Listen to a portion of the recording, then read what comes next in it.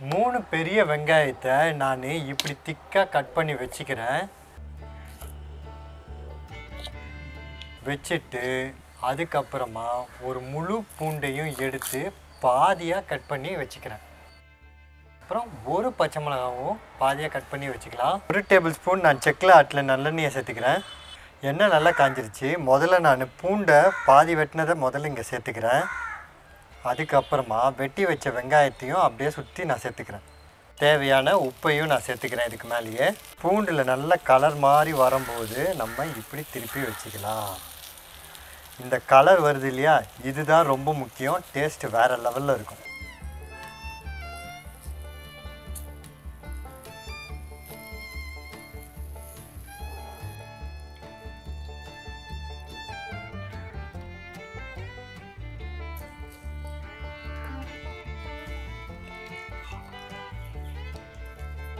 எடுத்து இப்படி வச்சுட்டு நம்ம மிச்சம் இருக்க பாதி பூண்டையும் வெட்டி வச்சிருந்த ஒரு பச்சை மிளகாவையும் சேர்த்து நம்ம என்ன பண்ணிக்கலாம்? இதையும் நல்லா குக் பண்ணிக்கலாம். ஓகே ஸோ இதுவும் நல்ல கலராக ஆயிடுச்சு. வந்துடுச்சு.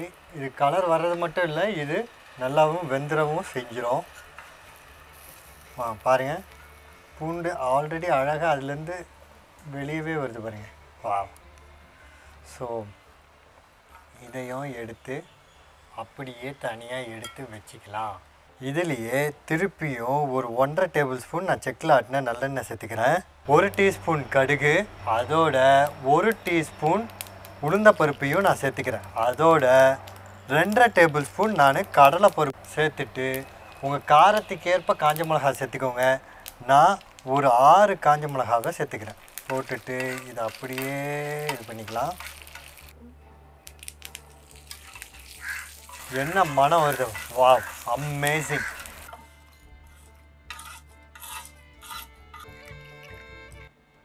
நம்ம எடுத்து வச்சிருந்த கொஞ்சம் தாளிப்பை போட்டு நம்ம ஃபினிஷ் பண்ணிக்கலாம். ரெண்டு டேபிள் ஸ்பூன் நான் என்ன சேர்த்துக்க காலையும் இன்ச் ஒரு நாலு பூண்டையும் நான் லேசாக தட்டிக்க போகிறேன்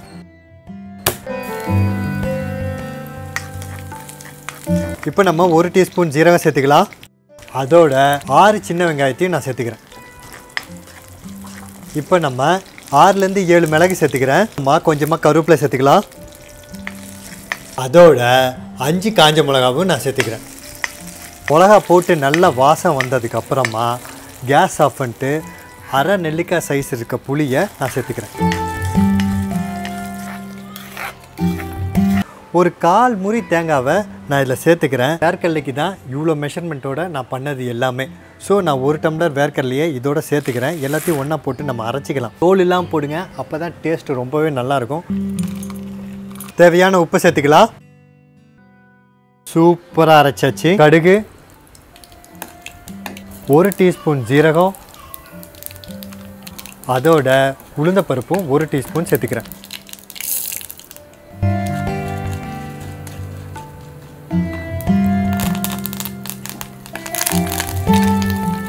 கடைசியாக ரெண்டு காஞ்ச மிளகா போட்டு இறக்கிக்கலாம்.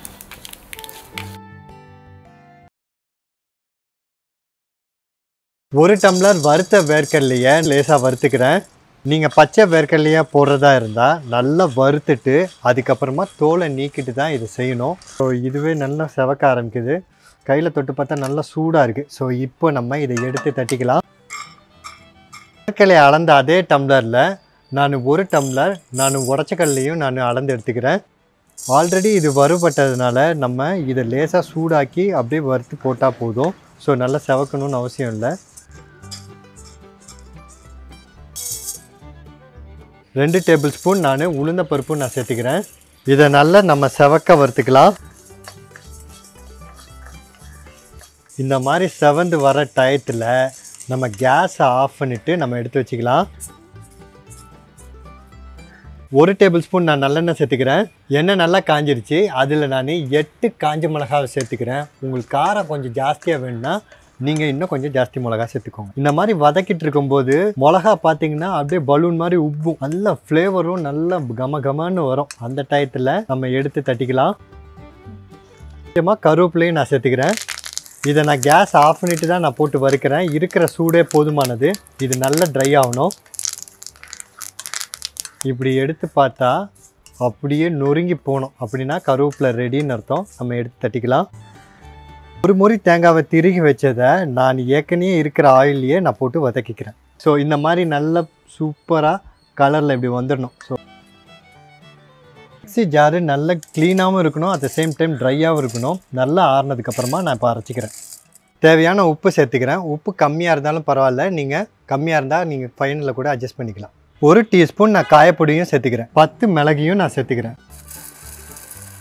இந்த மாதிரி லேசாக நர நரன்னு அப்படியே இருந்துட்டால் சூப்பராக இருக்கும். இதை வந்து நீங்கள் தண்ணி ஊற்றி கலக்கிட்டு என்ன திக்னஸில் தண்ணியாக சட்னி வேணும்னா தண்ணியாக ஊற்றிக்கோங்க கொஞ்சம் உங்களுக்கு எப்படி அது வேணுமோ அந்த மாதிரி தண்ணி ஊற்றி நீங்கள் அதை ரெடி பண்ணிவிட்டு அப்புறம் வழக்கமாக தாளிப்பு போட்டு நீங்கள் தாளி தாளித்து நீங்கள் அது மேலே ஊற்றி மிக்ஸ் பண்ணிட்டா ஒரு ரம்மியமான ஒரு சட்னி ரெடி ரெண்டு டேபிள் ஸ்பூன் நான் நல்லெண்ணெய் ஊற்றிக்கிறேன் எண்ணெய் நல்லா காஞ்சிருச்சு. இப்போ ஒரு டீஸ்பூன் கடுகு சேர்த்துக்கிறேன். டீஸ்பூன் உளுந்த பருப்பும் சேர்த்துக்கிறேன்.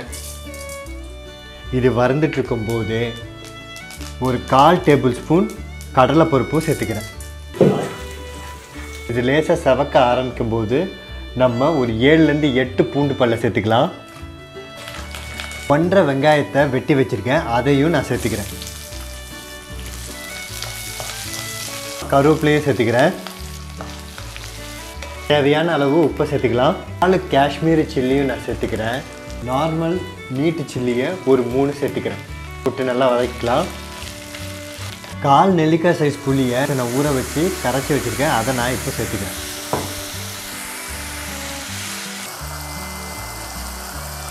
இது நல்லா கொதிச்சிருச்சு. இப்போ நம்ம ஒரு இருபத்தஞ்சி மிளகை நான் சேர்த்துக்கிறேன்.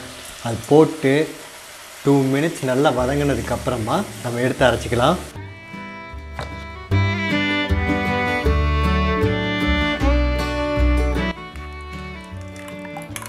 டேபிள் ஸ்பூன் நான் நல்லெண்ணெய் சேர்த்துக்கிறேன். ஒரு டீஸ்பூன் கடுகு சேர்த்துக்கிறேன்.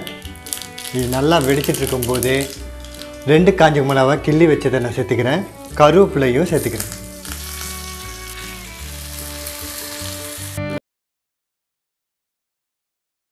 ரெண்டு டேபிள் ஸ்பூன் நான் செக்கில் ஆட்டின நல்லெண்ணெயை நான் சேர்த்துக்கிறேன்.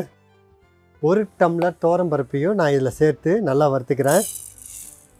இந்த தோரம் பருப்பு நல்லா வறுபடுறதுக்கு ஒரு two two two and half minutes தான் ஆகும். மீடியம் ஃப்ளேமில் வச்சு நான் பண்ணுற மாதிரி நல்லா ரோஸ்ட் பண்ணிக்கோங்க. இந்த பார்த்தீங்களா இந்த மாதிரி லேசாக செவக்க ஆரம்பிக்கிற டயத்தில் நாம் வந்து நாலு காஞ்ச மிளகாவை இதில் சேர்த்துக்கலாம். உங்கள் காரத்துக்கு ஏற்ப இன்னும் சேர்த்துக்கணுனாலும் நீங்கள் சேர்த்துக்கலாம் போட்டுட்டு ஒரு தேர்ட்டி செகண்ட்ஸ் இன்னும் எடுத்துக்கிட்டிங்கன்னா மிளகாவும் நல்லா வறுபட்டுரும். நம்ம எடுத்து தட்டி ஆற வச்சுக்கலாம்.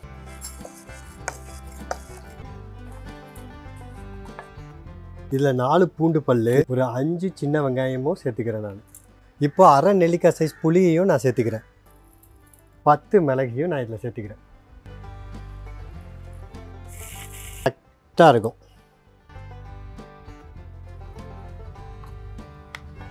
இதில் தண்ணியை நல்லா கரைச்சி உங்களுக்கு வேணும்னா தாளிப்பு போட்டு நீங்கள் தண்ணி ஊற்றி கரைச்சி நீங்கள் வச்சிங்கன்னா பிரேக்ஃபாஸ்ட்டுக்கு ஒரு சூப்பர் சட்னியாகவும் நீங்கள் யூஸ் பண்ண முடியும். இது அப்படியே திக்காக இப்போ நான் காட்டின மாதிரியே இதை அப்படியே வச்சுட்டிங்கன்னா மத்தியானம் சுட சுட சாதத்தில் இதை போட்டு நல்லா நீங்கள் ஊற்றி பிசைஞ்சு சாப்பிட்டீங்கன்னு வச்சுக்கோங்களேன். சாம்பார் எந்த குழம்புமே வேண்டாம். அது ஒரு தேவாமிர்தமாக ரொம்ப சூப்பராக இருக்கும்.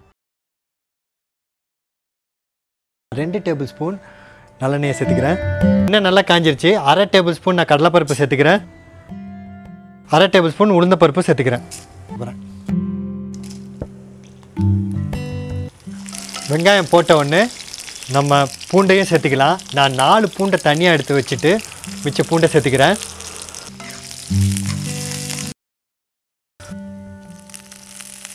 அந்த தண்ணி வத்துறதுக்கும் இந்த பூண்டு குக்காகிறதுக்கும் பர்ஃபெக்டாக இருக்கும்.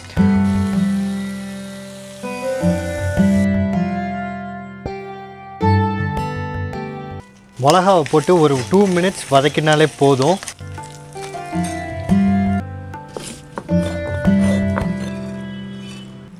நான் அம்மியில் அரைச்சிருக்கேன். நீங்கள் வேணால் மிக்சிகளை கூட அரைச்சிக்கலாம். அம்மியில் அரைச்சா டேஸ்ட் எப்படி இருக்குன்றத நான் சொல்லணும்னு அவசியம் இல்லை. எண்ணெய் நல்லா காஞ்சிருச்சு. இப்போ அரை டீஸ்பூன் நான் கடுகு சேர்த்துக்கிறேன். அதோட அரை டீஸ்பூன் நான் உளுந்த பருப்பும் சேர்த்துக்கிறேன். வெட்டி வச்சிருந்த பூண்டை சேர்த்துக்கலாம். இந்த டயத்தில் கொஞ்சமாக கருவேப்பிலை சேர்த்துக்கலாம். அதோட காஞ்ச மிளகாவையும் சேர்த்துக்கலாம்.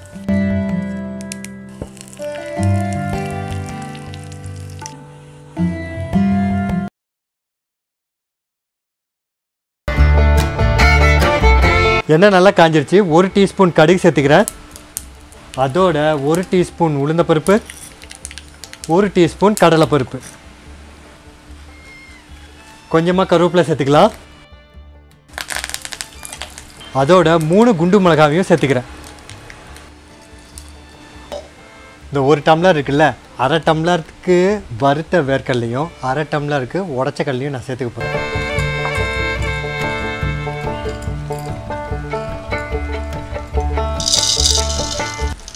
அரை நெல்லிக்காய் சைஸ் புளியை சேர்த்துக்கிறேன். இப்போது தேவையான உப்பையும் கொஞ்சமாக மிளகையும் சேர்த்துக்கலாம்.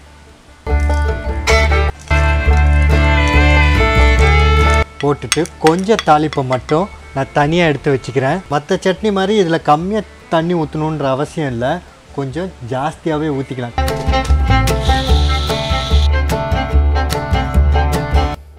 சட்னி சூப்பராக ரெடி ஆகிடுச்சு இதுக்கு மேலே அப்படியே தாளிப்பை போட்டு பண்ணால் ரெடி டு சர்வ்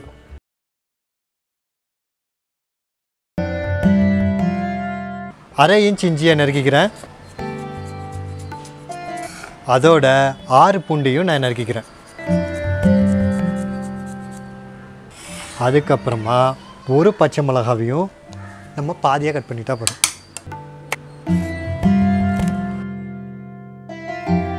இப்போது நான் ஒரு டேபிள் ஸ்பூன் நல்லெண்ணெய் ஊற்றிக்கிறேன்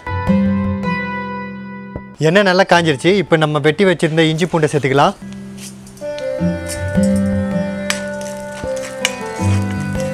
பச்சை மிளகாவையும் சேர்த்துக்கிறேன். இந்த மாதிரி சவக்கிற டயத்தில் நம்ம வெட்டி வச்சிருந்த புளியையும் சேர்த்துக்கலாம். பருப்பெல்லாம் நல்லா செவந்துருச்சு. இப்போ நம்ம புதினாவை சேர்த்துக்கலாம். எடுத்து போடும்போது நல்லா உதறி போடுங்க.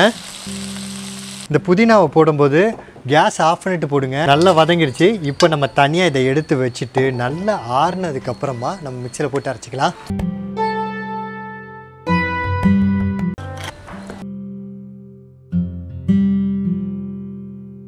நான் ஒரு டேபிள் ஸ்பூன் நல்லெண்ணெய் ஊற்றிக்கிறேன் எண்ணெய் நல்லா காஞ்சிருச்சு. அரை டீஸ்பூன் கடுகு சேர்த்துக்கிறேன்.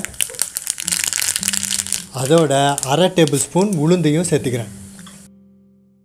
கொஞ்சமாக கருவேப்பிலை சேர்த்துக்கலாம். இப்படி நல்லா செவந்து வர டயத்தில் நம்ம ரெண்டு காஞ்ச மிளகாவை சேர்த்துக்கலாம். அதோட ரெண்டு சிட்டிக்கை காயப்பொடியும் சேர்த்துக்கிறேன்.